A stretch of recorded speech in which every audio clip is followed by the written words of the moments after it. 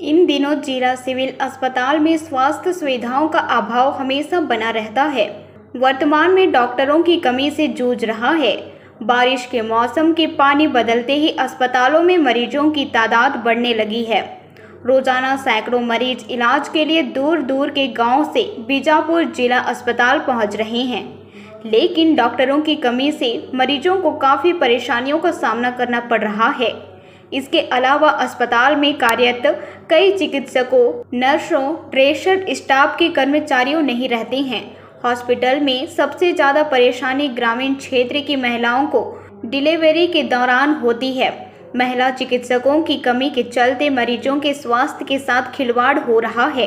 उसके साथ क्या होता है कि वो आठ बजे सुबह आता है पर्ची कटती है और ग्यारह बजे के आसपास डॉक्टर महोदय पहुँचते हैं और उसका ट्रीटमेंट कैसा करते हैं क्या नहीं करते हैं उनके परिजन यहाँ पर हैं उनके साथ में किस प्रकार का दारुण दुख करना चाहिए बहुत तकलीफ़ अ, होता है कि परिवार का एक जो मुखिया रहता है उसके साथ में उसके प्राण चले जाते हैं परंतु डॉक्टर यहाँ पर सही समय पर नहीं पहुँचते हैं। और दीदी ये बताइए कि आप कितने टाइम यहाँ पर आप लोग आए थे आठ बजे हैं आठ बजे। बजे से आए हैं भैया आठ बजे से कोई डॉक्टर नहीं देखे पर, पर, पर्ची बना दिए हैं लेकिन जाओ पाँच नंबर बाद में पाँच नंबर में जाके हम हॉल में बैठे लेकिन कोई देखे नहीं यहाँ से उधर घूम के आए। हैं व्हील चेयर बिठा व्हील चेयर से उठा दे उठो यहाँ से।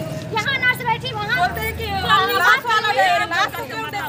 आपातकालीन में गए सुबह सुबह आपातकालीन में गए वहाँ डॉक्टर बैठे हैं कुछ नहीं बोले। देख रहे हैं लेकिन कुछ नहीं बोले। नर्स देख रहे हैं लेकिन कुछ नहीं बोले। ये लापरवाही है कि नहीं है?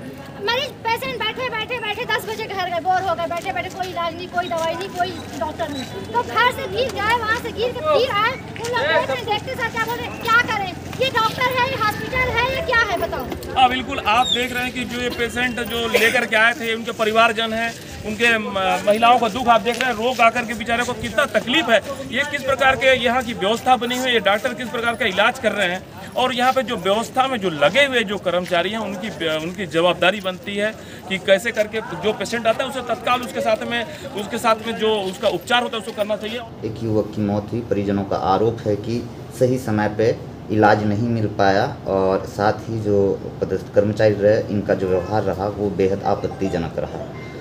तो ये इसके असल जिम्मेदार कौन हैं? अगर आप इंक्वायरी करते हैं तो कब तक आप किसी तरह की कार्रवाई का आश्वासन दे पाएँगे, सर? ठीक है, इसमें तो प्रथम दृष्टि यही लग रहा है कि जैसे कि इसमें पर्ची बनाने के बाद उनको कैजुअलिटी में पहुँचना था, मरीज़ कैजुअलिटी में नहीं पहुँच पाए। हमारे क्योंकि पूरे डॉक्टर, स्टाफ कैजुअलिटी में तैनात रहते हैं कैजुअलिटी में थे और ये आ, कहना चाहिए हुआ जो भी हुआ मरीज़ के बीच और उस कैजुअलिटी तरफ़ नहीं गए इसलिए ये आज की स्थिति आई है। सर आपको मरीज़ की मिसअंडरस्टैंडिंग लग रही है।